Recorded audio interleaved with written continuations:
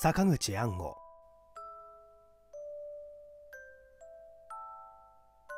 明治開化暗号取り物。密室大犯罪。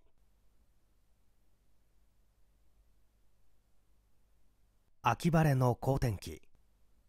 氷川の勝海舟邸の門をくぐったのは浮かない顔の泉山虎之助であった。よほど浮かない事情があるらしい。玄関へたどり着くとここまで来たのが精一杯というように玄関脇に置いてある遠椅子にぐったりとつかまって吐息をついた。壊れかけた遠椅子がぐらつくのも気づかぬように腰掛けて額に指を当ててじっくりと考え込んだが弥勒菩薩のようないい知恵は浮かばないらしい。時々思い余ってほっとため息をつく。クジラが一息入れているような大げさなため息だが本人はそのため息にも気がつかないらしい。よほど大きな反問と真正面から取り組んでいるのだろう。彼は思い切って立ち上がった。出発寸前の特攻隊の顔である。自分の思考力に見切りをつけるということがこの大男には死ぬ苦しみというのかもしれない。女中に大人を通じると例によって海州のおそば好きの女中小糸が代わって現れて奥の書斎へ導いてくれる。早朝のことで他に来客はいなかった。早朝より性質を騒がせまして無礼の段特にお許しくださりませ生類ともに下るという悲痛の様で謝っている。いつもながらの大行さに海舟は笑って借金の依頼身の振り方の相談俺のところへは相談ごとに来る人間の絶えたことがない。人殺しの教場持ちがかくまってくれと言ってきたこともあったよ。23日置いてやってここはもう門前に見張りの者がついている。危ないからこれこれの人を頼っていけと握り飯を持たせてやったがこの男は立ち去るまで挙動は尋常で食事なども静かに十分に食べて夜も熟睡していたぜ。トラはどうで？昨べは眠っていなかろう。お前ほど思い乱れて知恵を借りに来た人はいないが探偵はみんなそんなものかい？はあ凡骨の資料の届かぬ機械人がまま怒るのでござります。内側より掛け金をかけ密封せられたる土蔵の中で殺された男がございます。犯人は外へ逃れたはずはありませんが煙のごとくに消えております。今朝の新聞で見たが人形町の小物屋の話かい。ああまさしくさようで。本庁未聞の大犯罪にござります。人形町の川木という小物屋で主人の藤兵衛が土蔵の2階の部屋で殺されていたが発見された時は部屋の戸に内側の掛け金がかかっていたという。その頃の新聞記事というものは三面記事の報道に性格を期するような考えはない。面白おかしく尾ひれをつけ経に任せて書き上げた文章であるから。上等別品。風流祭祀美男番頭。いずれ劣らぬ達者な知れ者馬脚を表す祖も垂れ人か。と結んであるがその記事である。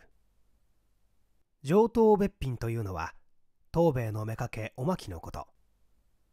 こんな記事を読んだところで犯人の見当をつける手がかりにならないばかりかとんだ嘘を教え込まれるばかりである。東兵衛は土蔵に暮らしていたのかい？土蔵の2階半分を仕切りまして今にいたしておりました。一代で山を築き土蔵持ちになったのを何よりに思っておりましたそうで常住土蔵に座がして満足を味わっていたのだそうでございます。妻子も土蔵の中にいるかい？いえ東兵衛一人でございます。至って殺風景な部屋で何の部屋飾りもなく年々の大副長と大蔵式の古風な金庫が一つあるだけでございます。はばかりはどうしていたい？さあそれは聞いておりません。そんなことも一度は調べておくものさ。罪の根は深いものだ。日常の暮らし癖それをよく知ってみると謎の骨子がはっきりとしやすいものさ。それではお前が見てきたことを語ってごらんな。後先を取り違えずに落ち着いてやるがいいぜ。はありがたき幸せにござります。虎之助は思わずにっこりと勇み立って一膝乗り出して語り始めた。東兵衛は横山町の花中という老舗でレッチから叩き上げた番頭であったが主家に重なる不幸があって主人は我が家に火をつけて家中に飛び込んで死んでしまった。それが寛永寺の戦争の年だ。主家は没落したが白ネズミの東兵衛は自分だけは長年よろしくやっていたから少なからぬ蓄えができている。年も30独立して踏み出すには盛りの年齢であった。人形町の今の場所に空き店があったからそれを買って開店した。没落した主家の顧客を誰に遠慮なく受け継ぐことができたし自ら足を棒にして新しい顧客を開拓した。商売は星雲に赴いて店を立派に新築し地続きの裏店を買い取って離れと大きな土蔵を作った。これを一時期にして彼は土蔵の2階に居間を作って金庫と帳簿を抱えて住み着くことになり店を番頭に任せたが彼には彼の編み出した方針があった。近所の横山町には小物店の老舗が揃っている。しっかと年来の顧客を握って微動もしない屋台骨を誇っている。新規開店の渇きではそう収まってはいられない。彼自身も足を棒にして顧客を開拓したが今後もそれを怠るわけにはいかない。小物屋の顧客は主として下流会続いてお屋敷や大商店の奥様お嬢様などであるからそこへ出入りする番頭は男っぷりが良くて愛想が良くてご婦人方の気に入られる男でなければならない。ところが男が良くて愛想が良いからモテる。挙句に手に手を取ってというのはまだいい方でお出入り先のたくさんのご婦人連と年頃になりすぎて事を起こし店の信用を落としてしまうというのが少なくない。そこで東兵衛は考えてお得意回りに一人前の番頭をやるからいけない。これは小僧をやるに限る。こう結論して理髪で愛嬌があって愛想も良くて顔の可愛い子供を11人から仕込んで1 5 6になるとそろそろお得意回りに出す。これが非常に功を奏した。下流地では姉さん連に可愛がられるしお屋敷の奥様方にも気が置けなくって面白くってこの方が良いという評判である。そこで東兵衛の店では番頭の周作が23大層若い年だがこれが唯一の大人である。もっとも東兵衛の甥の義雄という周作と同い年のが東兵衛の代理閣で働いている。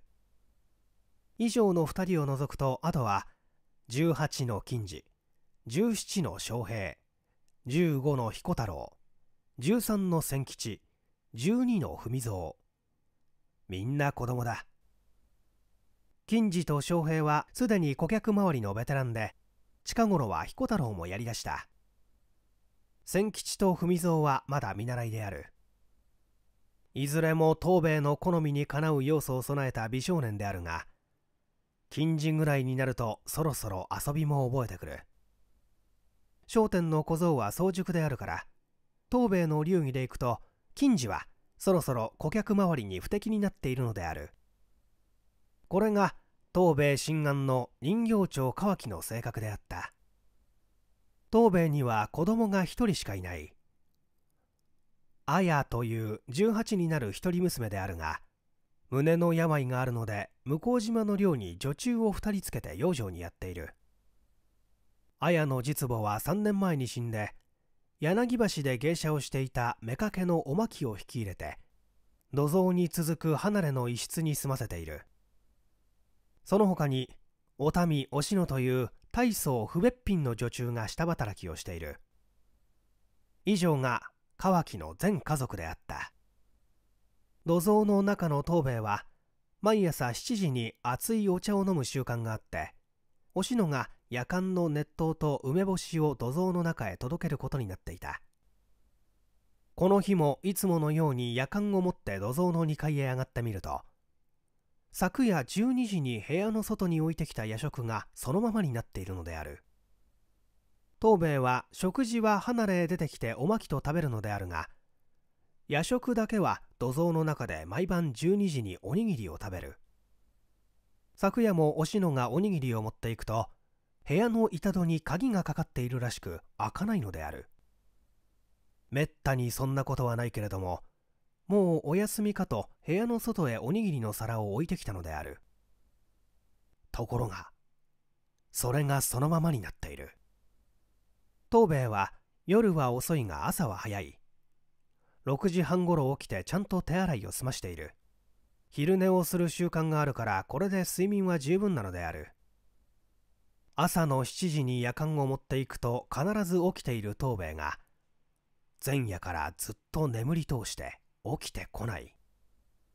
戸には内側から鍵がかかっているし呼んでも返事がないからおしのも怪しいんだ。離れのおまきを起こしてみようかとも思ったがおまきは昨夜泥酔して眠ったことを知っているので東兵衛の甥の吉尾のところへ行った。ところが吉尾の部屋には布団が敷いてあって寝た跡があり何か荷造りを仕掛けたのも置き残してあるが部屋の主はもぬけの殻で外泊の様子。仕方がないから番頭の周作を叩き起こしてこの旨を告げた。そこで周作が寝ぼけ眼をこすりながら土蔵へ行ってみると中心の通りで戸を叩いても呼んでも返事がない。不思議であるからおまきを呼び起こして戸を押し破って入ってみると藤兵衛は脇差しで胸板を差し抜かれて死んでいたのである。戸が内側から鍵がかかっていた。その密室で人が殺されているからこの謎は難物である。そこで新十郎を呼び迎えることになった。新十郎は例によって花野屋因果と泉山虎之助の3人連れ古田鹿蔵巡査の案内で人形町へやってきた。東兵衛の傷は背後から背中を人差ししたものだ。ちょうど肝臓のあたりを差し抜いて切っ先が34寸も突き抜けている。死体は脇差しを差し込まれたまま事切れていた。脇差しは東兵衛の座右の品。この乾き屋で刀といえばたったこれが一本しか存在しない。東兵衛は自分の刀で何者かに背後から刺し殺されたものだ。血の海であった。金庫はそのままで物を取られた跡はない。12時にはもう殺されていたのだな。すると酔いの口にやられたのだろう。客が来て話をしている。ちょっと立った隙に客があり合わせの脇差しをつかんで背後から刺したのだろう。虎之助がこうつぶやくと花の屋が笑って「そんなことはどうでもいいのさ。掛け金が内側からかかっていたのが不思議じゃないか。そこが心眼の使いどころだよ。虎之助は花の屋をにらみつけた。至って遠目の利かない心眼のくせに口だけは聞いた風なことを言う。それがいちいち虎之助の勘に触ってしようがないのである。新十郎は家族によって押し倒された板戸を立てかけて入念に調べていた。押し倒された弾みに掛け金は外れている。掛け金の勘は板戸にちゃんとついている。新十郎は23着離れたところから五寸釘を探し出した。それは明らかに勘をかけて差し込むための五寸釘である。別に曲がったり傷がついたところはない。新十郎は板戸の勘とその付け根を調べていたがそこにも傷んだ跡はなかった。板戸を押し倒した時に掛け金は簡単に外れたんですね。五寸釘も傷んでいないし掛け金も傷んでいませんよ。するてえと掛け金はかかっていなかったんじゃないかな。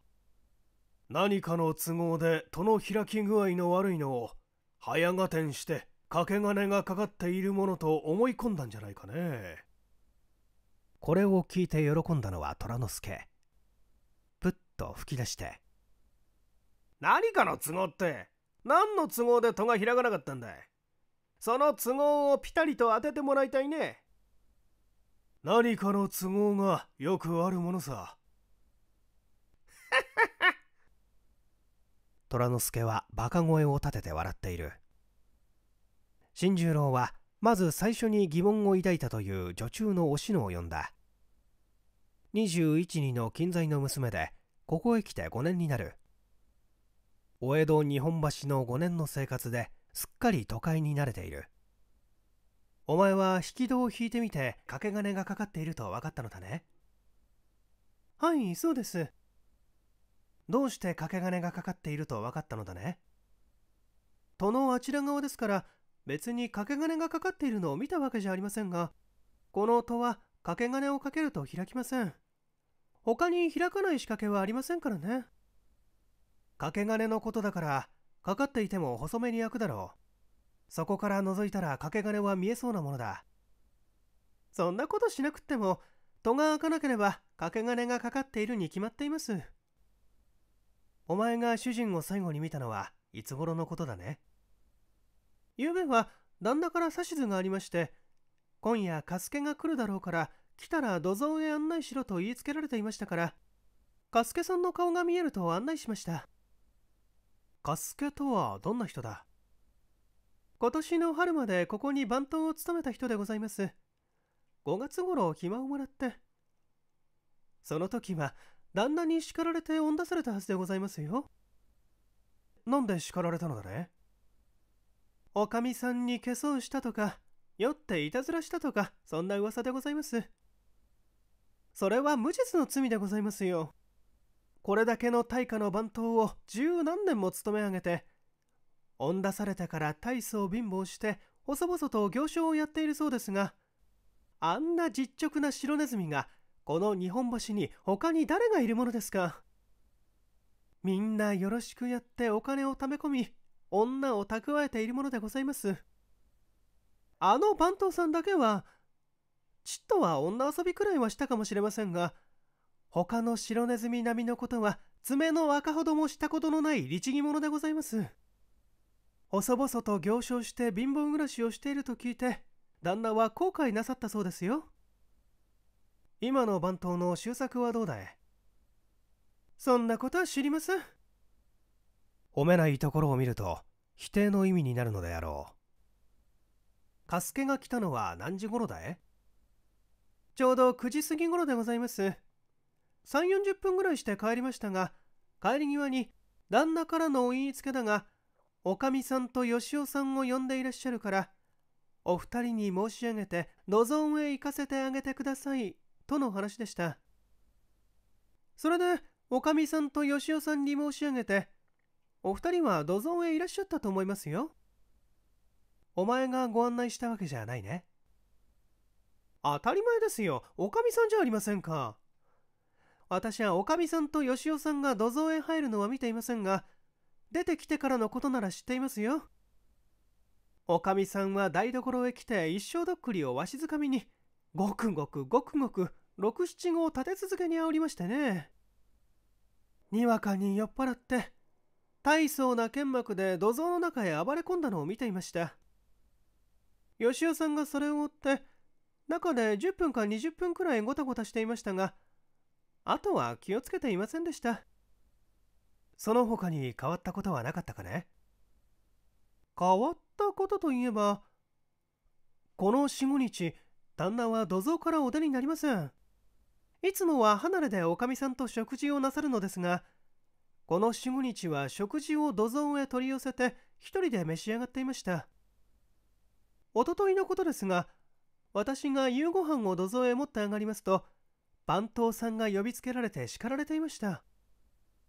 聞いたのはほんの一言二言ですがお前のような番頭ではこの店が潰れてしまうぞときついお言葉でしたよ。最初に吉野を尋問したのは意外の成功であった。乾き屋の内情についてほぼ輪郭をつかむことができたのである。番頭の周作が若すぎると思ったのも道理。加助という10年来の番頭がクビになったばかりなのである。ここに曰くがありそうだということはまず察せられることであった。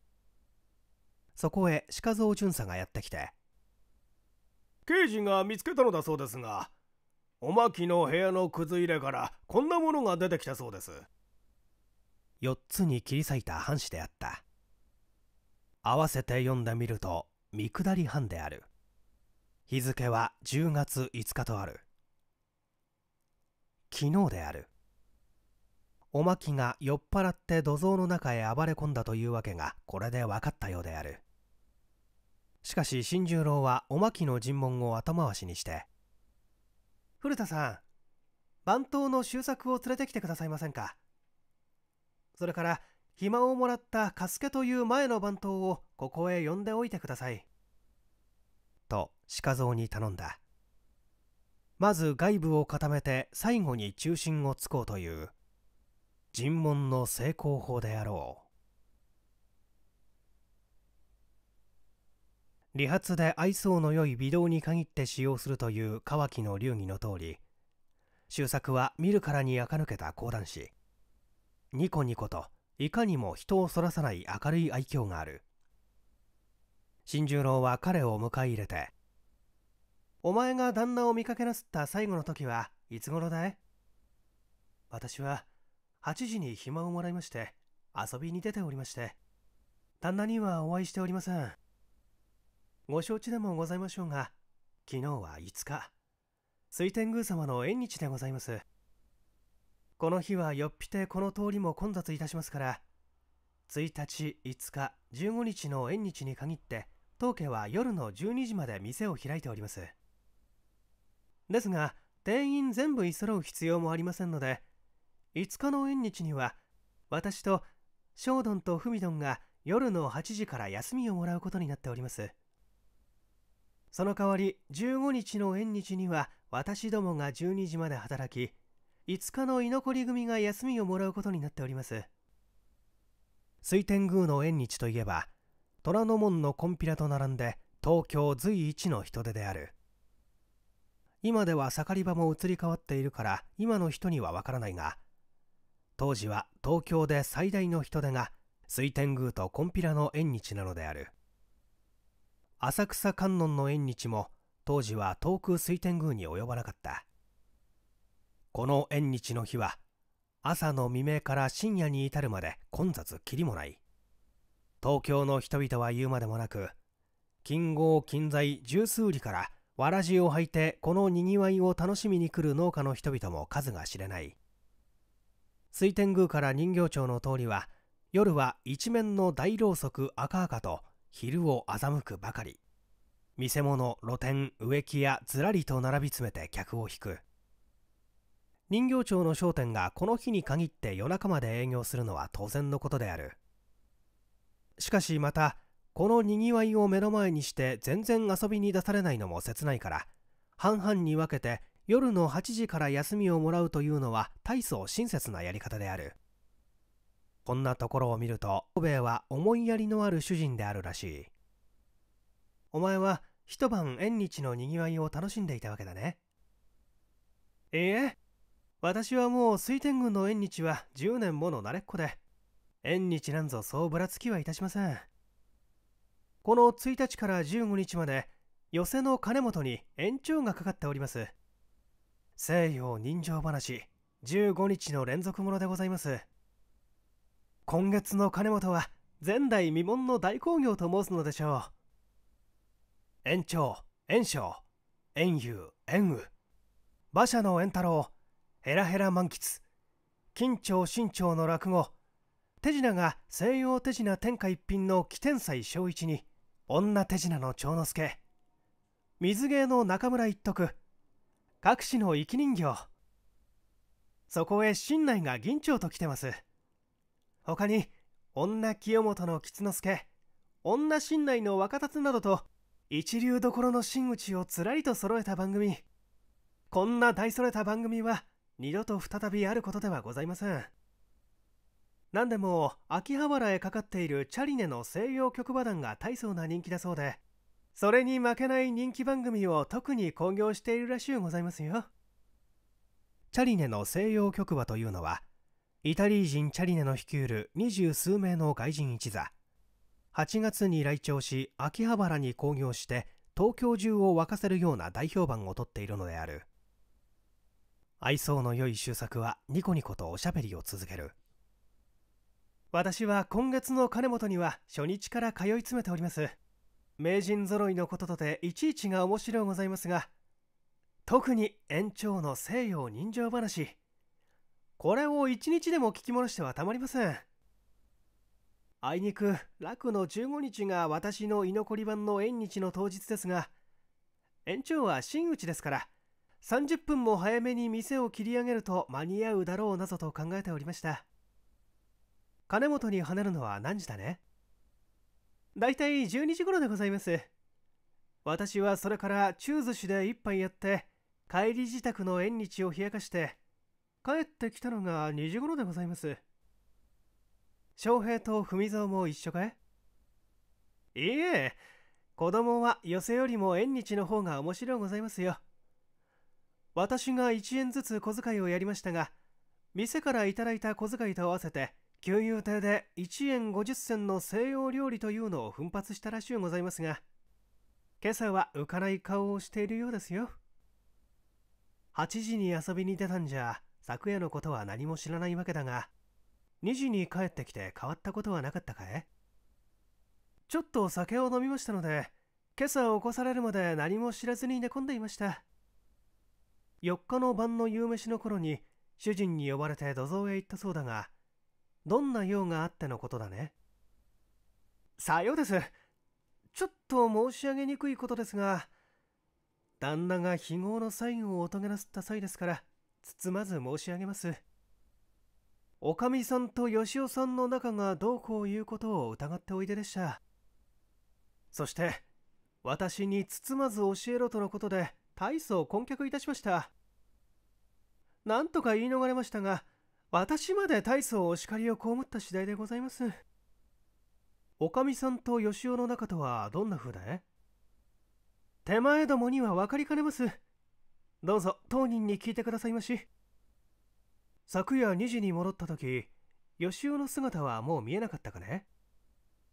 私どもは小僧どもに近い方、吉尾さんは離れに近い方でちょっと離れていますから、何の物音も聞きませんでした。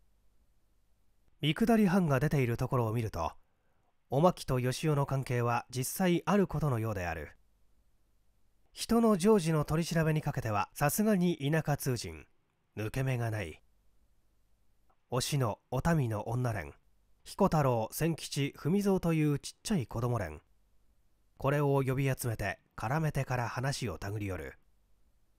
女はおしゃべりであるし小さい子供は常時について批判力がまだ少ないから噂のある通りを軽くしゃべる。総合するとおまきとよしおの仲はすでに町内で噂になっているほどであった。花の屋は女子供から調べ上げてきてにやりにやりと花ひげの先をつまんでひねりながら「お盛んなものだね。皆々よろしくやっていますよ」よしおはおまきのほかに吉町の古仙という子の旦那を務めているね。小歌の師匠というのに入れ上げてもいるそうだ。周作も吉町のひなぎくというこの旦那を相務めているね。他に女義太夫の若い子を囲っているそうだ。さらに驚くべきことは18の金次が豆やっこという反玉とできているわ。17の将兵が染丸という姉さんに可愛がられているわ。出るわ出るわ。ほじればキリがないやれ。吉尾と周作は前の番頭の加助が煙たいから罠にかけて追い出したという説があるね。大層ネタを仕込んでくるから虎之助はむくれて。いい加減な推理を真に受けちゃ立派な推理はできないぜ。そこが剣術使いの浅ましさ。私はねこれを千吉文蔵彦太郎という当家のデッチから聞き出してきたのだよ。加助がおまきに不死だらなことを仕掛けて当家を追放されたのは5月5日。節句の日だね。この晩は男の祝日だから酒が出る。一度ヘベのレケに酔っ払ったが男連と一座して飲んでいたおまきがまず酔いつぶれ。自分の部屋まで戻らずに片絵の小部屋で畳の上に寝込んでしまったんだね。それ誰かがあり合わせの布団をかぶせておいた。酔いしれたカスケが布団の中へ入り込んでおまきを抱いて寝ようとしたからおまきが怒ってわめき立てた。首席の男女店の者全部揃ってどっと駆けつけたからたまらない。ことを秘密に済ますわけにはいかないからこの番頭では店の取り締まりができないとカスケは即日首をちょん切られて出されてしまったということさ。ここに千吉文蔵という酒を飲んでいなかった子供たちの証言がある。酔いしれたカスケが畳の上へゴロンと寝ようとすると吉尾と周作がカスケに勧めてここで寝ちゃ風邪をひく。あの小部屋に翔平が酔いつぶれて布団をかぶって寝ているから番頭さんも一緒に布団を引っかぶっておやすみなさいと。おまきの寝ているのを翔平だと言って勧めたという話だね。何？翔平は自分の小僧部屋へ上がって小間物屋を広げて寝ていたのさ。おまきが酔いつぶれて自分の部屋でないところで寝ていたってのもかねて打ち合わせた仕業かもしれないな。大層重大なことである。そうなると東兵衛が非業の最後を遂げる直前に加助を呼び寄せていることが非常に重大な意味を持つ。東兵衛が加助を追い出したことを後悔して彼を呼び寄せて何事か密談したということはおまき吉尾周作の3名にとって容易ならぬ危機である。しかしおしのを呼んで確かめてみると縁日のこととて店は多忙を清めているから店を離れてブラブラしている暇はなく裏口から来た加助を見た者はいないはず。奥の土蔵も店からは離れて別の一角を成しているから店の者は土蔵の方にも台所にも来る用がないはずである。ただおまきの住む離れだけは土蔵と一体をなしているからおまきは加助を見ているかもしれないがおまきの居室の中から土蔵へ入る加助の姿が見えるわけでもないという。まあよかろう。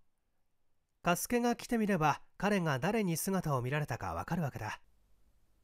加助が来るまでにおまきを呼んでみましょうか。いよいよ謎の中心にメスが向けられることになった。おまきは28柳橋で左妻を取っていたのを東兵衛に引かされて妾となり繊細の死後本宅へ引き入れられたものである。新聞の報道に上等べっぴんとある通りいかにもあだっぽい良い女。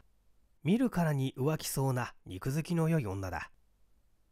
二日酔いのところへ精神的な打撃を受けていかにも顔の色が悪そうだがそれを厚化粧でごまかしている。色っぽくにっこりと新十郎に会釈した。いやおかみさんか。ご苦労さん。今回は大変なことでご心中お察しします。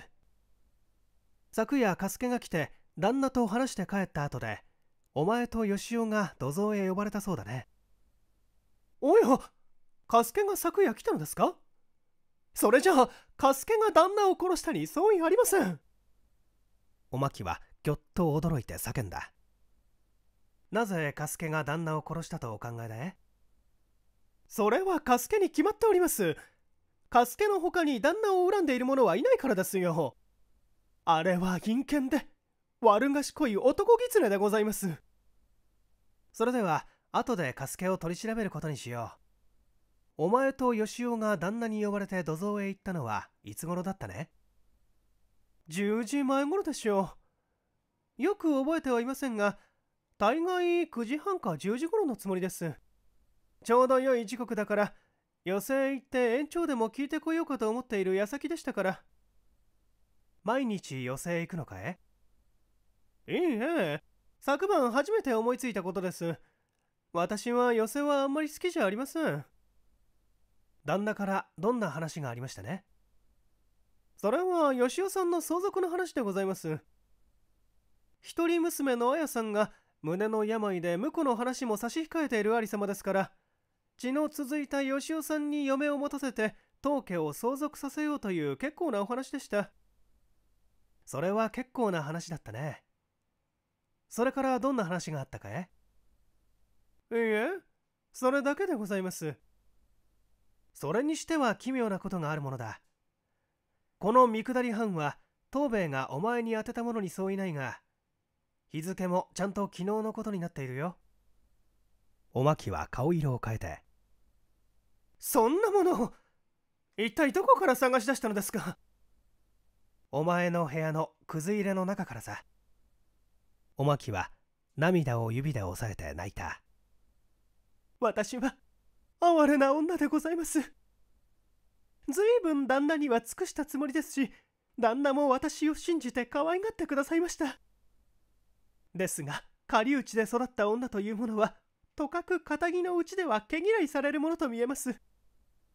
あらぬ噂を立てて人を陥れようとなさる方もいればどなたかは存じませんがこんなひどいものを私の部屋へ捨てておいてさもさも私が旦那から離縁された宿なし女のように測ってみせる人もあります。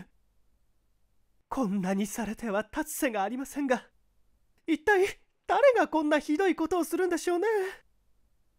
当家にそんなことをできそうな大人は吉尾と周作の2人だけだね。いいえ。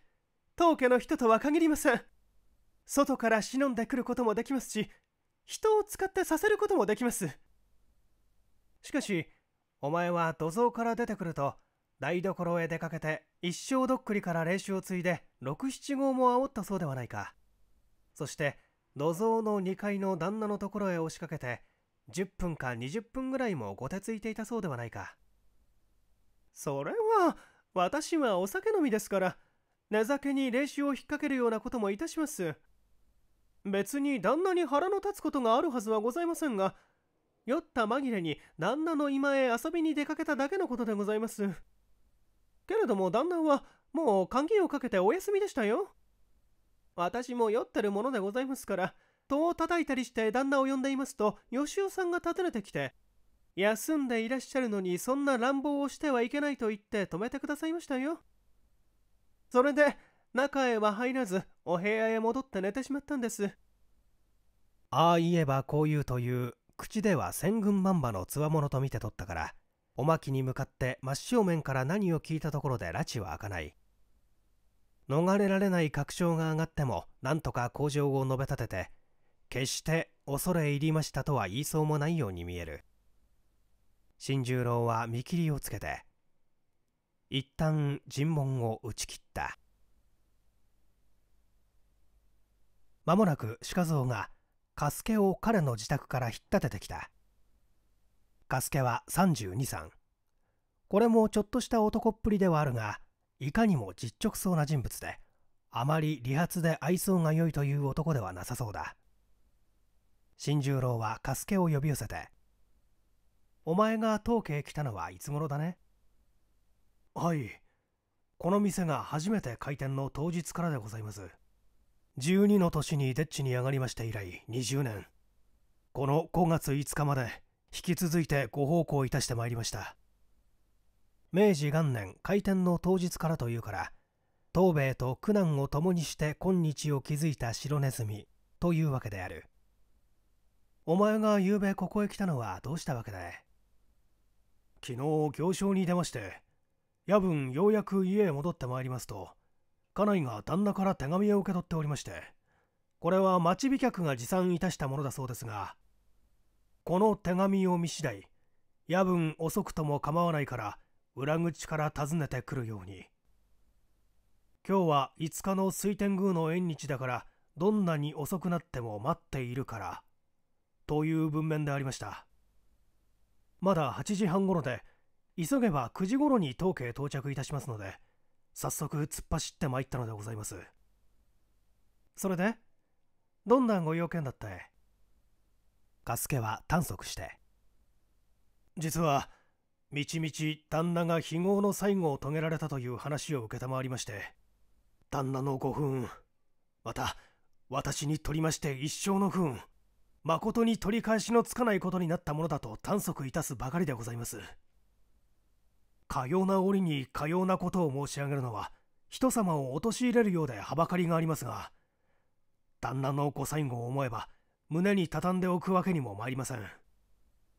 旦那のご用件と申しますのは旦那は私の手を取られてカスケやお前には気の毒な思いをかけたが堪忍しておくれ。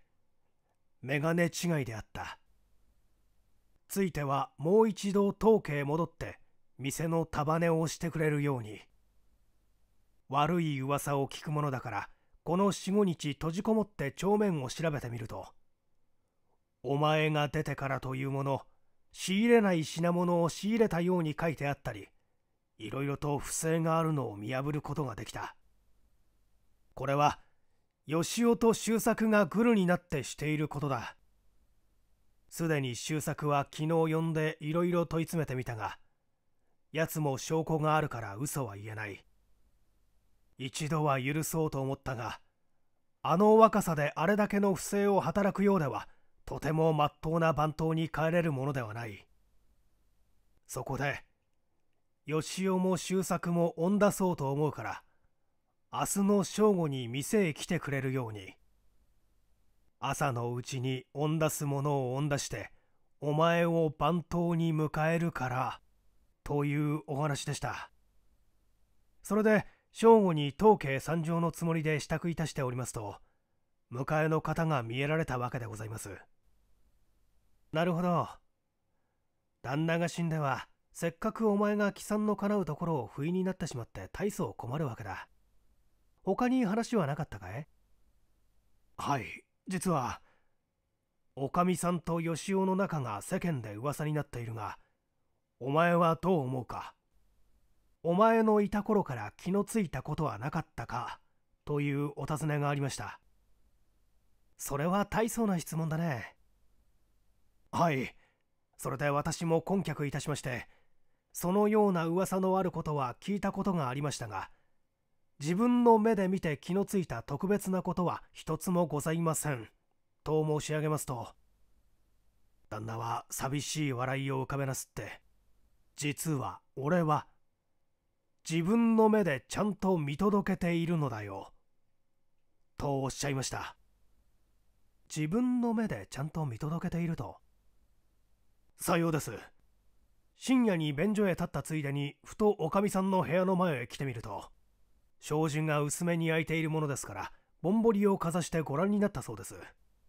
すると中がもぬけの殻ですからさてはとお思いになりましてな。ぼんぼりを消してそっと2階へ忍んでみると吉尾さんの部屋の中から孫を勝たなく2人のむつごとを聞いてしまったと申されました。お前が帰ってから2人を呼んでおまきには見下り藩を吉尾にも叔父甥の縁を切って今夜限り恩出してしまうのだと申しておられました。そして私がおいとまを告げます時にそれではついでにおしのに言いつけておまきと吉尾二人揃って土蔵へ来るように伝えてくれとおっしゃいました。その言いつけをおしのに伝えて私は家へ戻りましてございます。まっすぐ家へ帰ったのだね。いえ実は図らずも帰参が叶いましてあまりの嬉しさに。縁日のことでもありますし水天宮様へ参拝いたしちょっと一杯飲んで。久しぶりの酒ですから大層を酩酊して夜半に家へ戻りましてございます。酒を飲んだ店はどこだね？それが貧乏暮らしのことで持ち合わせが乏しいものですから見せ物の裏手の方に出ている露店の一杯屋で缶酒を傾けたのでございます。それで大層悪酔いいたしたのかもしれません。当家を訪ねている間お前の姿を見た者は誰々だい。おしのとお民の両名の他には誰に会った覚えもございません。カスケの意外千番な陳述によって図らずも重大な殺人動機が確認されたわけであるがそれをさらに裏付けるものは吉尾の昨夜来の失踪である。すでに刑事たちは吉尾の潜んでいそうな五線や小唄の師匠を洗ってきたがそこへ立ち回った形跡はなかった。新十郎は金次を呼んで訪ねてみたが彼は居残り番で多忙なところへ途中から吉尾の姿が消えたので彼が番頭役で立ち回らねばならずてんてこまいをしていて店以外のところで何が起こっていたかは皆目知らなかったという。一緒に立ち働いていた彦太郎と千吉がそれを裏付ける証言を行った。もっとも10時過ぎに豆やっこが店へ現れて小間物類を手に取っていじり回して結局かんざしを買って帰ったという。もっともお金を払ったわけではない。金次のおごりになるらしい話である。新十郎は一通り尋問を終えてもう一度現場を見て回った。この掛け金には結局釘が差し込んでなかったんですね。どうもそうらしい。するとこの掛け金を外から外すのも外からかけるのもわけはない。針金を曲げたものかなんかで戸の隙間から自由自在に掛けも外しもできますよ。新十郎はそうつぶやいて現場を細かく探索した。戸を分けると4軒に仕切られていて東兵衛の今へ行くに4畳ぐらいの寄り付きがありその隣に難度があってここには仏壇だのくす玉だのいつ用いたのか知れないがよそなら使って捨てるものを雑然と放り込んである。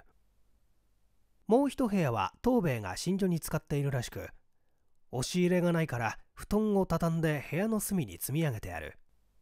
その他には何もない。掃除は毎日丁寧にやると見えてよく行き届いているが何度と寝室にところどころ土が落ちている。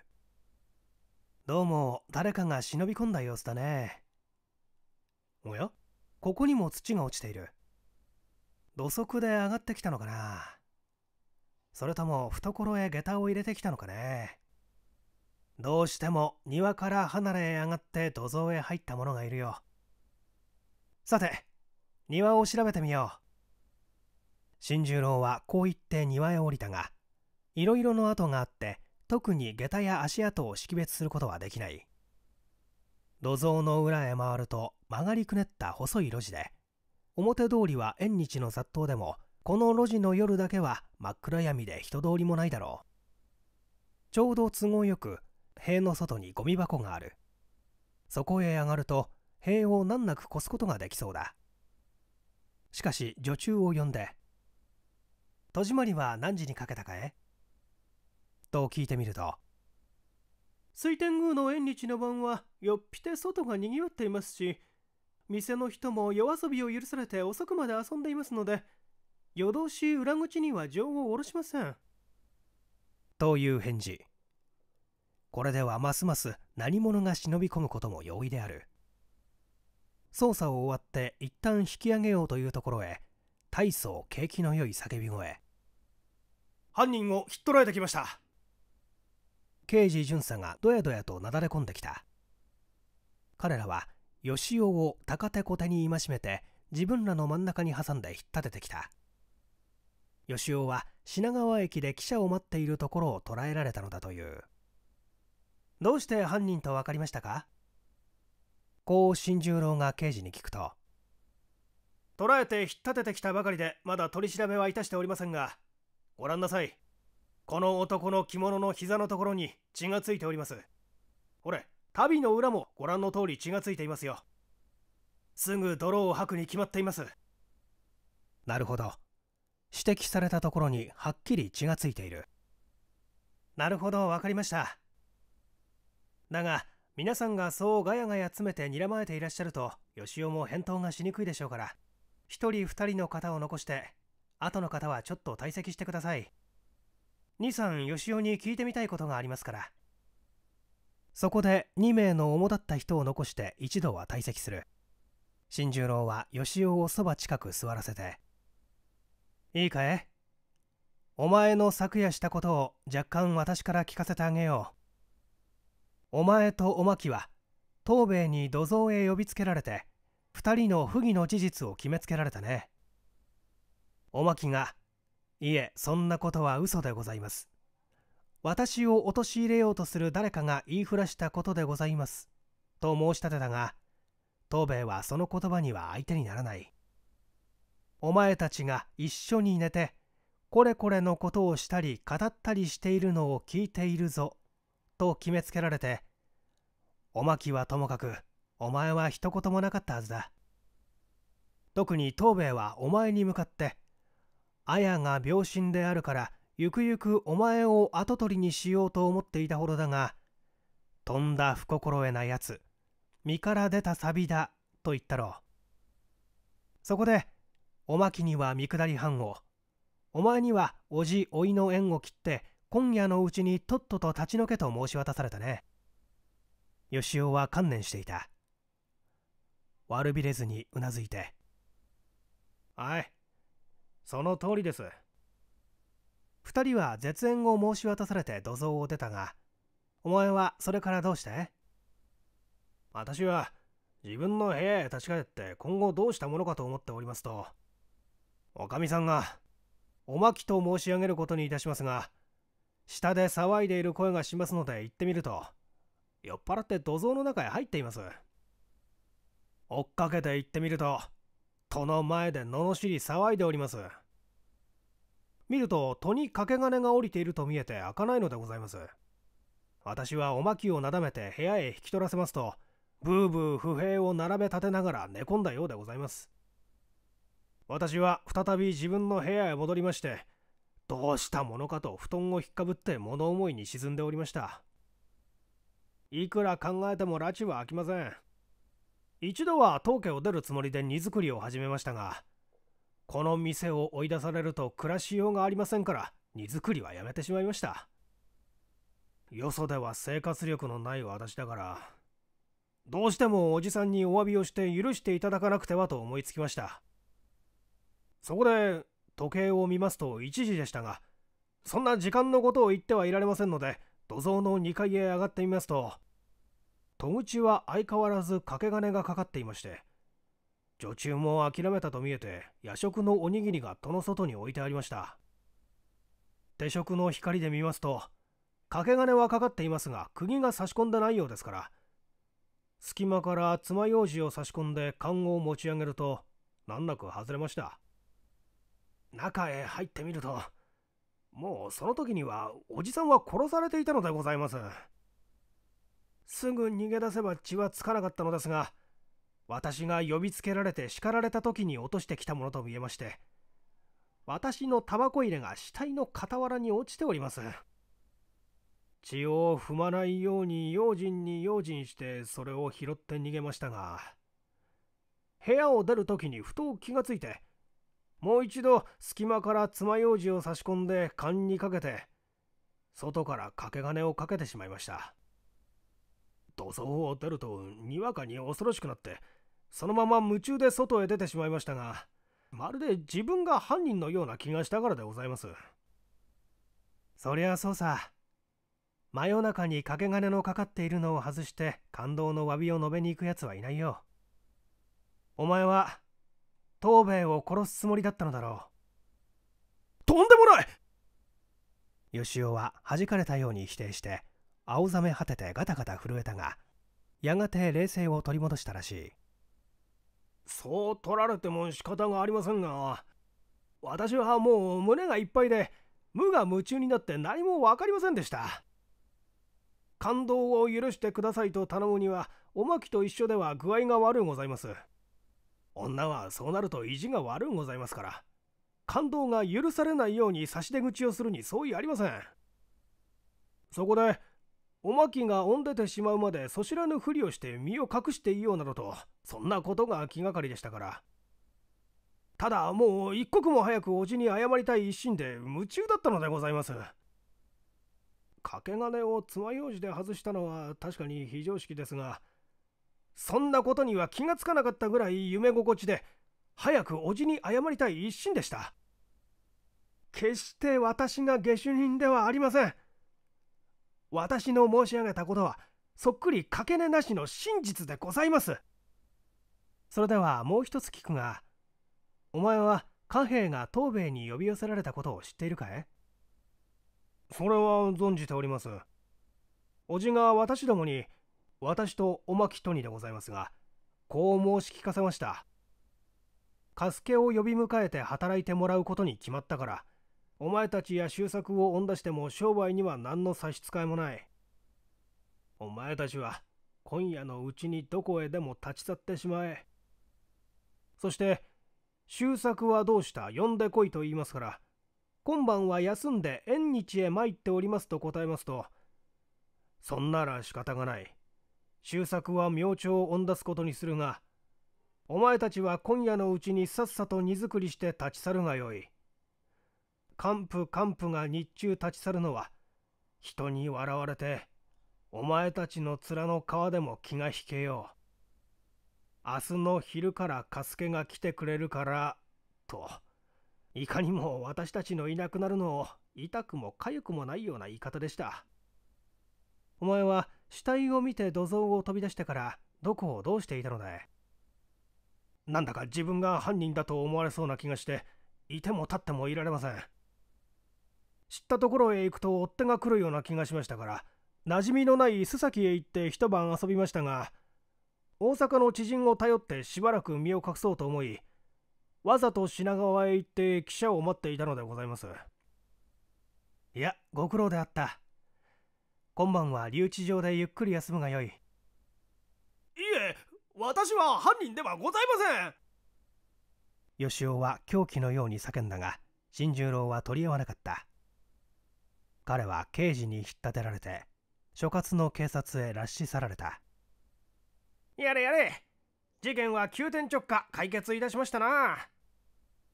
と虎之助がほっと息をつくと新十郎は済ましてさてどうですか。なかなか一筋縄ではいきません。奥には奥がありますよ。そんなバカな。動機といい結婚といいはっきりしている掛け金の外し方かけ方まで自分でちゃんと説明しとるじゃないですか。私は犯人ではございませんというやつを犯人でないと決めるバカなんて甘助探偵があるもんですかい。偉い。あなたは甘くもなければバカでもないよ。ですがあなたね剣術の心眼と探偵の心眼はまた別物だね。あれをごらん。あの土蔵の中の土。ね。これですよ。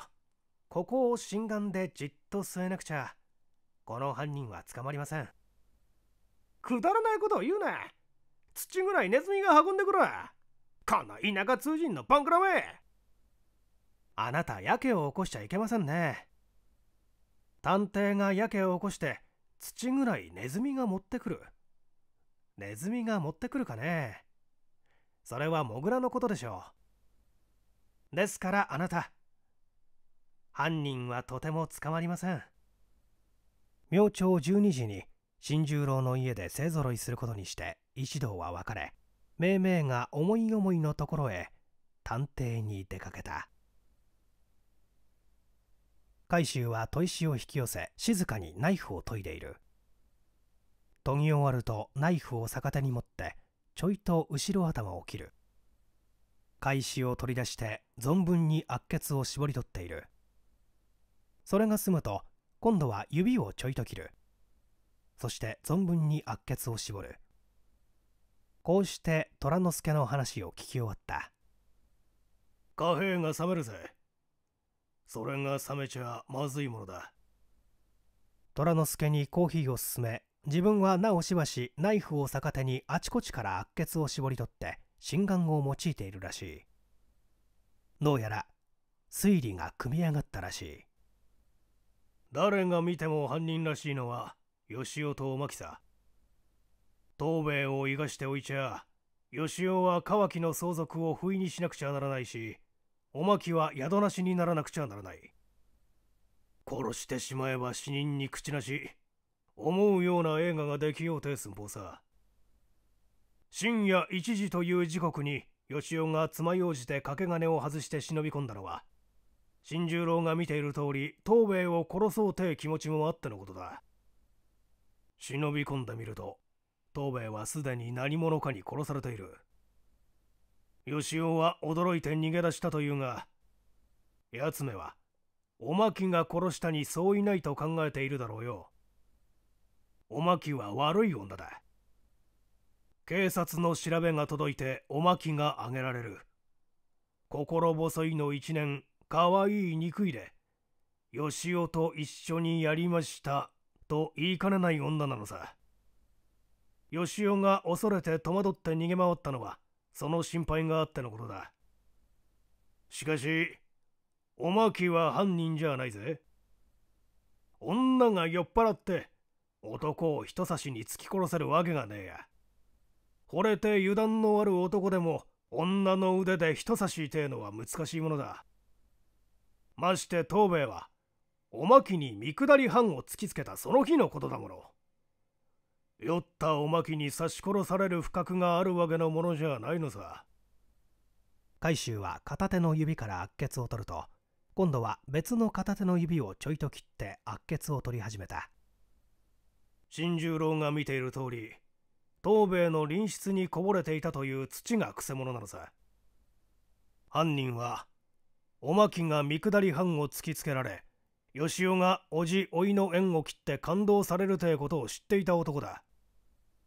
それを知っていたのはカスケの他にはいないあの男がと世間ではびっくりするだろうが真犯人はままそうしたものさ。カスケは肥満を出されて東兵衛を恨んでいる。実直者だけに恨みが深いのさ。5ヶ月の貧乏暮らしで根性もひがんでる。帰参が叶ったのは嬉しいが元へ戻ったところでたかが番頭じゃしようがない。貧乏をしてみると魔が差して余計上を望むようになりがちなものさ。東兵衛を殺してしまえば犯人と疑われるのは見下り藩を突きつけられたおまきと感動された吉尾の両名に決まっている。帰参がかなってやれ嬉しやという加助が疑われるわけはねえのさ。東兵衛から放逐されると決まった周作が東兵衛亡き後居座るかどうかはわからないが居座るにしても周作一人が番頭じゃ店の束ねができないから。世間に人望のある加助が迎えられて大番頭の地位につくのは火を見るよりも明らかだ。綾は胸に病があるから遠からず死ぬだろうし。乾きの屋台骨は自然にそっくりカスケのものになってしまう。世間に人望があるからカスケが主家を我が物顔に切り回しても誰も何とも言われんのさ。カスケはそこまで見ているぜ。海舟はナイフと砥石をしまい込んだ。カスケは一旦主家を自居すると裏から塀を乗り越えて土蔵へ忍び込んだのさ。多分おまきと吉尾の叱られている最中に忍び込んで隣室に隠れていたのだろうがおまきと吉尾が見下り藩と感動を言い渡されて立ち去るのを見すまして東兵衛を一月に刺し殺したのさ。おまきが酔っ払って土蔵へ暴れ込んだ時掛け金が降りていたのはカスケが中からかけたのだ。その時は五寸釘を下ろしていたにそうやるまい。殺した後の始末をつけていたのさ。落とし物はないか後を残しちゃいまいかと律儀者だけにいざとなると度胸もつくし用心もいい。家内の静まるのを待ってそっと抜け出して無事我が家へ立ち戻ることができたが名もない屋台のコップ酒で酔いしれて帰りましたなんぞと大層行き届いたことを言っているのだよ。虎之助はほっとため息をついた。心眼の読みの深さ正確さあまりの神業にただため息を漏らすの一手。寒類にむせぶがごとく呆然と言葉を失っている。正午の勢ぞろいまでには間があったが虎之助は持てる者の心の豊かさ出家頓生なぞというさもしい気持ちにはならないから10時頃には腰に昼の握り飯をぶら下げて新十郎の書斎の方をにこやかにちらちら横目をくれながら結城家の庭をぶらぶらしている。今日は彼の他にもう一人妙な野じ馬が早朝から詰めかけている。織江である。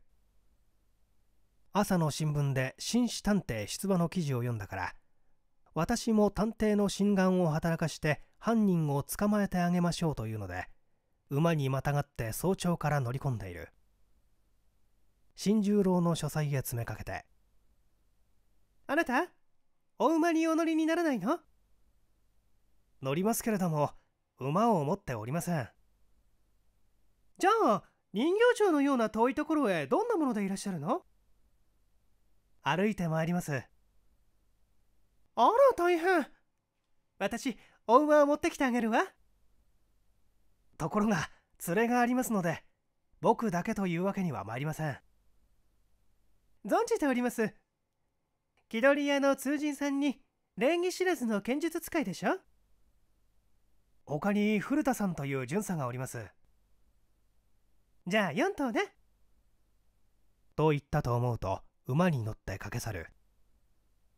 やがて馬蹄と4頭の馬を引き従えて戻ってきて庭木へ1頭ずつつないでしまった。当時は大層乗馬が流行っていた。婦人館にも流行して袴をつけて馬に乗って雑踏の町を走り回る。上流の流行ではなくて一般庶民の繁華通の流行で女は大概陰梅婦に限られていた。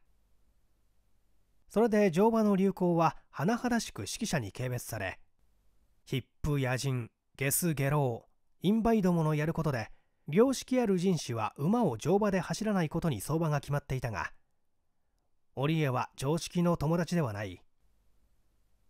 乗馬が面白そうだから我慢ができなくてこんな面白いことはないと大喜びで道行く人に睨みつけられてもへいちゃらなのである。良識ある新十郎は馬を持ち込まれて困ったが織江の言葉であってみるとどういうわけだか彼は嫌と言えないのである。一同勢ぞろいしていざ出発となるとむくれたのは虎之助。馬に乗れないわけではないが自分だけ着物の着流しだから具合が悪い。けれども胸に畳み込んだ大推理があるからここは我慢のしどころと一時を忍んでいる。大層正気のない老巡査を先頭に立てて異様な動きが通るから驚いたのは町の人々おい見ろよ妙なのが通るぜ局馬団の町回りがなチャリネの向こうを張って日本局馬をやろうってんだな鼻ひげをひねっているのが肝心元だね太夫と女芸人は水着を洗ってるね。こいつはチャリネもかなわねえや。あの男は何だろう。あれも日本の生まれかね。だらしがねえな。ははあわかりましたよ。こいつは趣向だね。日本の内地じゃ猛獣が間に合わねえや。あいつが虎の皮をかぶるんだよ。火の輪をくぐるのがあいつだよ。する程度あれも主役だ。虎が人間の素顔で街を練るて趣向が新規だね。人形町へ到着するとすでに警官の一行は留置していた吉尾を引っ立てて川木へ集まり新十郎を待っている。加助の顔も見える。東兵衛の死体は白木の棺に収まって安置されている。綾は病身を押して父の死に顔に一目挨拶にと来たものの無理がたたったところへ父の非業の姿を見てうーんと気を失ってしまった。そのまま高熱を出して一室に寝込んでいる。新十郎は軌道を下ろさせて関係者一同を集めた。高手小手に戒められている吉尾の縄を解かせてお前が長年世話を受けた叔父東兵衛によく仕えてかりそめにもおまきと事を起こすようなことがなければこんな事件は起こりはしなかったのだ。それを思えば警察署の一夜などは罪滅ぼしの足しにもならないのだよ。こうきつくたしなめて。さてお前に聞くが東兵衛の死体の片絵から拾ったタバコ入れはどうした？岡川へ捨ててしまいました。お前はいつもタバコ入れを腰に刺しているのかい？いつもということはありません。店に働いている時などは腰に刺しておりません。あの晩は店にいる時答弁に呼ばれて土蔵へ行ったのだろう。お！吉尾は叫んだ。全くその通りでございます私はもう一茶ぐらい興奮逆上して何も訳が分からなくなっておりましたが確かにあの晩タバコ入れを携えて土蔵へ参るはずはございません。今はっきりと思い出しました。新十郎はにっこりうなずいて「お前はタバコ入れを土蔵へ持って上がろうと思ったって持って上がるわけにはいかなかったのさ。その時はタバコ入れはお前の部屋から消えていたよ。ちゃんと犯人の懐に収められていた。犯人はお前のタバコ入れを懐に8時に当家を出た。一旦金本へ行ったが前座がつまらないことを喋っている。しばらく城内をぶらぶら油を売ったりしてたまには前座から聞いてみようと思ったがこれじゃあ我慢がならねえ。寄せてえものは前座から聞くもんじゃねえや。ちょっと縁日をぶらついてまた来るぜと言って顔なじみの下足板に下駄を出させて外へ出た。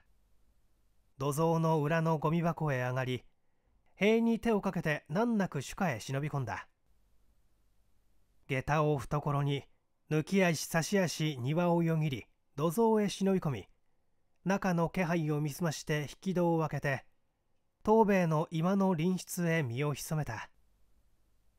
その時東兵衛の今には加助が来ておって二人は手を取り合って泣き合い固く誓いを立て合っていたところであった。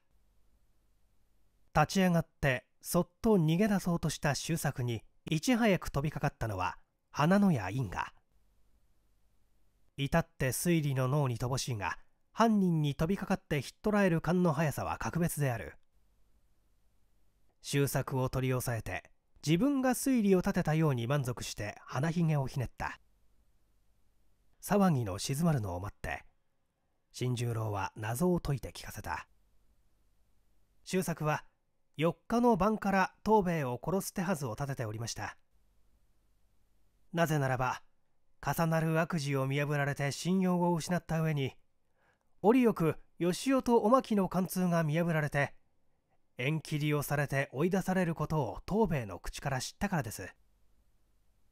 翌日の5日は水天宮の縁日で夜は自分の非番のところへ店は混雑しててんてこまい。土蔵の辺りへ立ち寄れるもののないことを知っておりますからこの日こそは屈強の日とアリバイの用意を整えて忍び込んだのです。忍び込んでみると加助が呼ばれてきております。主家へ帰参することになり入れ替わって自分が追い出されるという話などをして主従むつまじく赤日の親しい中に戻っておる。周作もそこまで考えてはいませんから己東兵衛ますます殺意を固くしてじっと機会を伺っていたのです。加助に代わって義雄とおまきが呼びつけられて縁切りを申し渡される。おまきは見下り藩を突きつけられたのですから周作にとってこんな都合の良いことはない。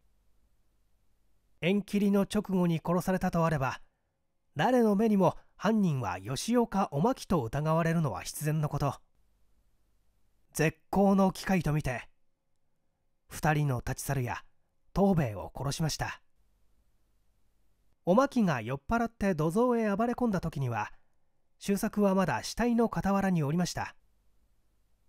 彼は掛け金をかけその時は五寸釘も差し込んでゆっくり後始末をしていたのです。自分にとって不都合なことは残っていないかと物色し東兵衛の身の回りを調べて自分に不利な書きつけなどがあったら盗んで帰ろうと思ったわけです。不都合なしと見極めて持参した吉尾のタバコ入れを死体の傍らへ落として逃げました。寄席へ戻って延長を聞き寿司屋で一杯飲んで2時ごろ戻って何食わぬかを悠々と眠ったのです。東兵衛が殺されれば吉尾とおまきの貫通が明るみへ出て吉尾は落としたタバコ入れによって捕まえられる。動機といいタバコ入れといい証拠が揃っているから言い逃れはできません。主家に残ったのは病身の綾一人。番頭の終作を婿に直して跡取りに立てようということになるのは自然の勢い。周作はそこまで見越しておりました。すでに観念した周作はふてぶたしい顔を上げて新十郎を見つめてお察しの通りさ。しかし私はもっと昔からことを企んでいましたよ。おまきは吉尾よりも先に私に色目を使ったのですが私はその時はっと胸にひらめいたことがあってよしよし俺がうんと言わなければあの色好みのおまきは自然吉尾に手を出すだろう。幹部幹部を作っておいて東兵衛を殺して罪を着せる。乾き屋を俺が乗っ取ってやろうとこう考えたのは1年半も昔の話ですわね。カスケを追ん出すくらいはわけはない。5日の縁日に殺すのだって4日に考えついたわけじゃありませんや。先月ちゃんと筋を立てて1日から延長の連続ものを聞きに行っていたのさ。4日に東兵衛に叱られたのがむしろ私の運の月あんなことがなければかえって私が疑われるようにはなりますまい。おまけにカスケが呼びつけられた一幕などが加わって今から思えば5日という日が大層間の悪い日になりましたが巧みに匠んだ挙句に一日違いでこうなるてのは神仏のおぼし飯というやつかもしれません。探偵のお前さんが偉いわけじゃありませんよ。ナイフを逆手に後ろ頭をちょいちょいと切って血を取りながら海舟は虎之助の報告を聞き終わった。うん。周作がそう言ったのかい。4日に東兵に叱られたのが運の月だったとね。巧みに巧んだ挙句5日という日が大層間の悪い日になったというのは周作にはその恨みが深かろうよ。得てしてそんなものさ。だがトントン拍子の時もある。人生は七転び八起きなものだが犯罪は三日ると一遍こっきりで後がないから神仏とか因縁謎を考えるのさ。海舟は左手の指をちょいと切って悪血を取り始めた。4日の晩に東兵衛に叱られて殺意を起こしたという新十郎の見方に狂いのあるはずはないのだが周作の言い分によると主殺しの筋は先月立てたことで4日の晩に叱られたのがむしろ運の月だというのさ。周作の言葉は真の事実ではあるが理によって筋の立つものではない。実に偶然ってものはまことに厄介なものだ。周作にも意外であるが、新十郎の頭にもこいつだけは手に負えねえや。俺が現場に立ち会っても新十郎と同じことさ。偶然のことは、また偶然による他には人知によって知り得ないものだ。俺がカスケを犯人と見たのは間違っていたが、現場に立ち会っていないのだから仕方がねえのさ。だが、カスケのような人望のある実直者がまま犯人だてことはよくあることだから、一度はそこへ目をつけるのを忘れちゃいけないものだ。部屋にこぼれた土に曰くがあることは俺がちゃんと見ていた頃だが、すると犯人はカスケか周作かどっちかだということになる。カスケに決めてしまったのが俺の間違いのもとなのさ。虎之助は海舟の読みの広さにますます敬服の念を固めその心眼の鋭さに舌を巻いて緊張しているのである。